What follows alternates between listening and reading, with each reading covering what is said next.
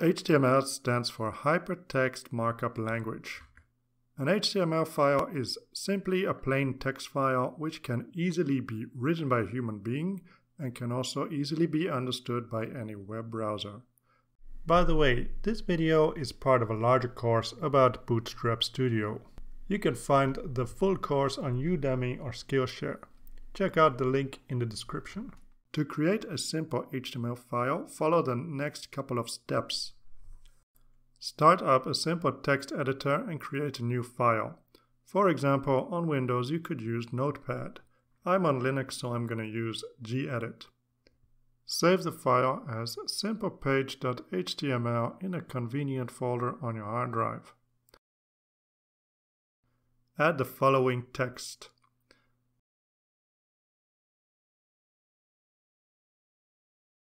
Find the file and open it up with your favorite web browser.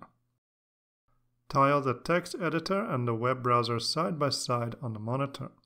You should get a result similar to this. You have probably noticed a few interesting things. The file starts with a bracket, HTML bracket, and ends with the same except with a backslash in front of the HTML part. These are examples of tags. The first tag without the backslash is a starting tag. The tag with the backslash is an ending tag. Everything between these two tags is HTML code. When we view this file with a browser, we only see the text between the two tags, and we don't see the two tags themselves. Next, modify the text by adding another pair of tags, then refresh the browser. Can you see what the tags b and slash b have done? That's right, they've made the text between the two of them bold. Next, let's modify the file like this.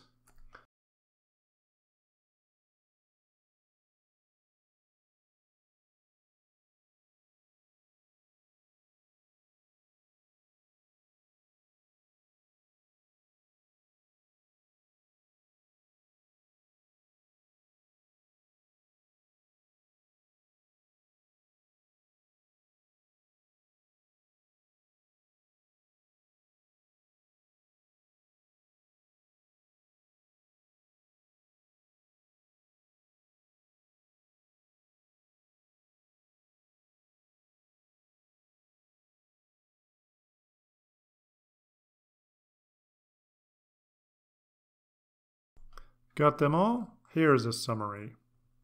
Head Everything between these two tags is information about the web page without being part of the web page itself.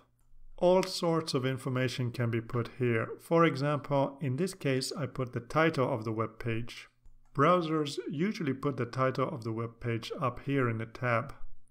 We also have these two body tags. Everything between these two tags is part of the body or the main part of the web page, which contains the content of the web page. H1 signifies that the text between these two tags is a heading.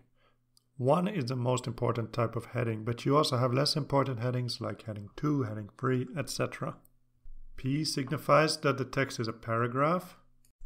U signifies that the text should be underlined and I signifies that the text should be in italics. And basically that's all there is to it to HTML. All it really is is a simple text file with special tags to tell the browser about special formatting.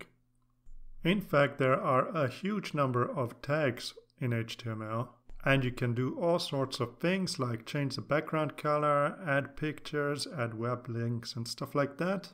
But if you use a drag and drop web authoring tool like Bootstrap Studio, you don't need to know any of those. If you're curious though, if you have an inquisitive mind, you, I recommend the website www.w3schools.com. It has some pretty useful interactive lessons which help you to learn more about HTML.